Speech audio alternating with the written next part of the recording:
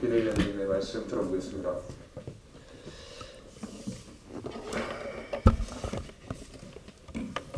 예, 성일종 의원입니다.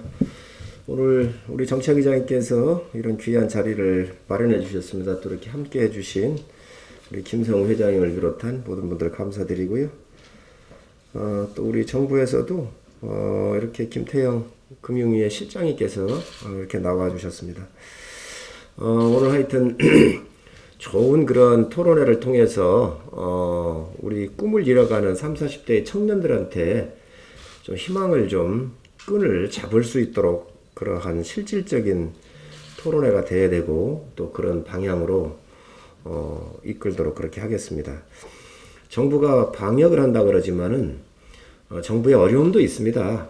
야당이지만 정부의 어려움도 저도 이해를 하는데 그러나 어, 이 촘촘하게 좀 짜고 시간은 충분했을 테니까 좀 좀 더 우리 청년들한테 피해가 가지 않는 방향이 있었 있지 않, 있는 게 이, 이, 저 피해가 가지 하자 가지 않도록 많은 그런 방법을 이렇게 촘촘히 좀 더 계획을 세웠어야 되는데 그런 부분에 좀 빠진 것 같습니다. 그래서 우선 많은 분들이 와서 운동시설을 이용을 하니까 이곳이 굉장히 위험지구다 그러면서 6주 동안을 폐업을 했잖아요.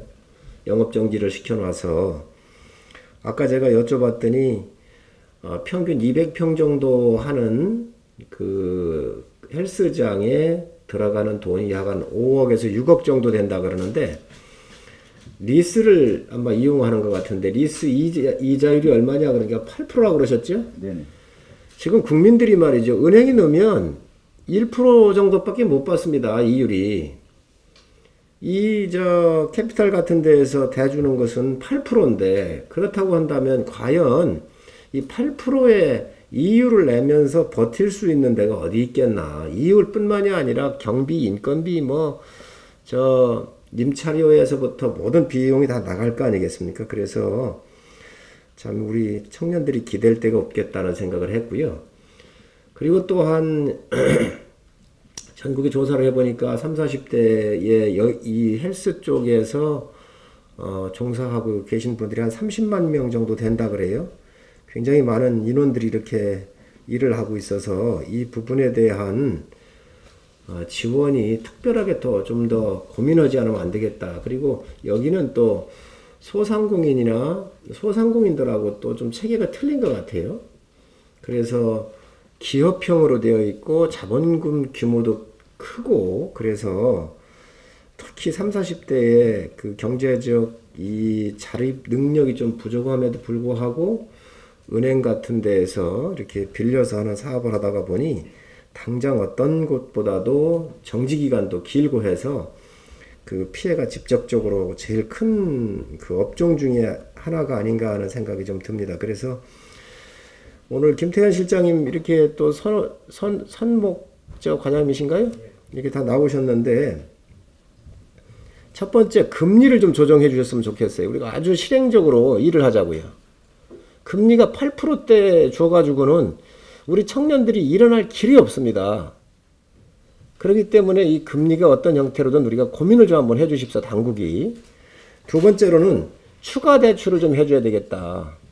수입이 하나도 없잖아요. 나간 것만 있고 그러다 보니 추가 대출을 좀 해줄 수 있는 방법을 좀 고민을 한번 해주십사 하는 말씀 드리고 또 추가 대출을 하면서 지금 캐피탈에서 8%의 금리가 높기 때문에 이것을 좀 스위치를 해줄 수도 있을 것 같아요. 은행 같은 데에서 대출을 좀 해준다면 금리가 좀 낮잖아요. 3, 4%로.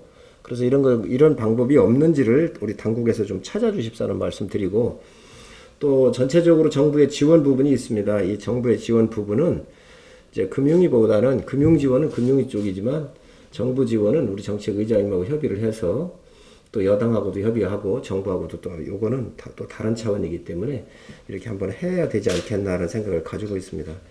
어려운 걸음으로 다 다른 회원사들 대표해서 오셨는데 오늘 실질적인 토의를 이렇게 할 수 있도록 어려움 더 저희가 모르는 거 있으면 말씀해 주시면 저희가 기담아서 하여튼 여야를 뛰어넘고 또 어떤 계층을 다 뛰어, 뛰어넘더라도 여러분들 도울 수 있는 방법이 있는지 진지하게 고민하고 또 뒤에서 돕도록 그렇게 하겠습니다. 감사합니다.